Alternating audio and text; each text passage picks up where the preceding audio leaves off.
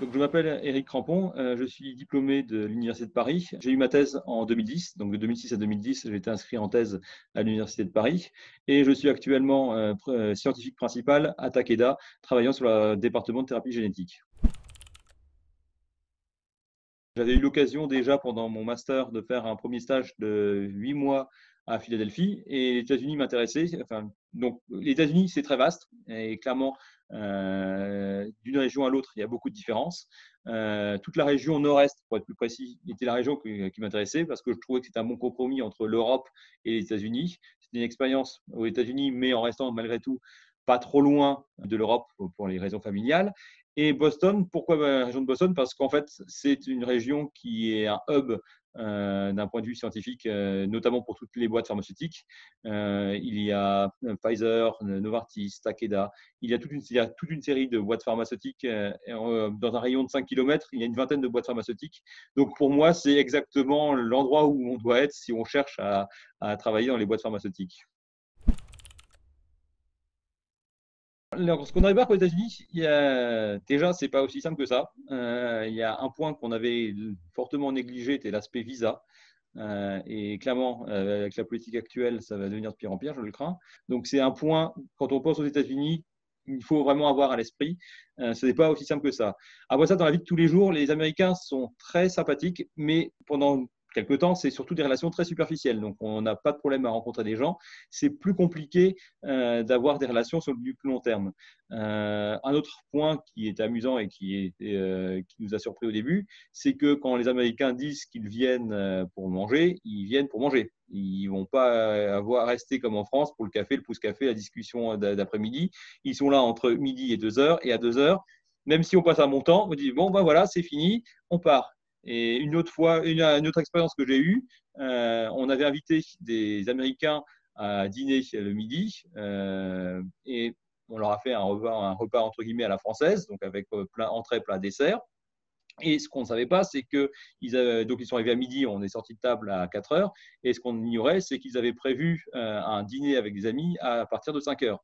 Donc je ne sais pas comment ils ont pu manger à 5 heures le dîner, vu le repas qu'on leur a fait, mais c'était un point, voilà, ça fait partie des, petites, euh, petits, ajustements culturels euh, auxquels, on s'attend. Euh,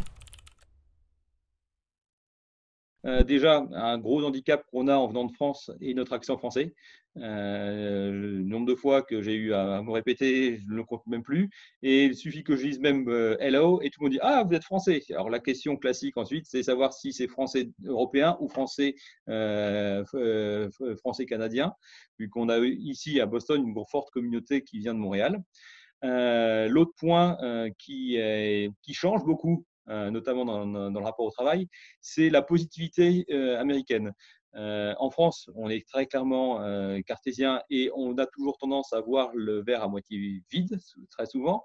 alors qu'aux États-Unis, tout est si on n'a pas des ah, amazing job, c'est que quelque chose s'est mal passé. Donc, ils ont un rapport positif qu'on n'a pas et qui, clairement, au début, euh, demande un certain temps d'adaptation parce que en tant que Français, on a toujours tendance à dire à voir le côté négatif et à faire des critiques, ce qui n'est pas forcément toujours bien vu aux États-Unis. Il faut surtout insister sur ce qui est positif dans les présentations.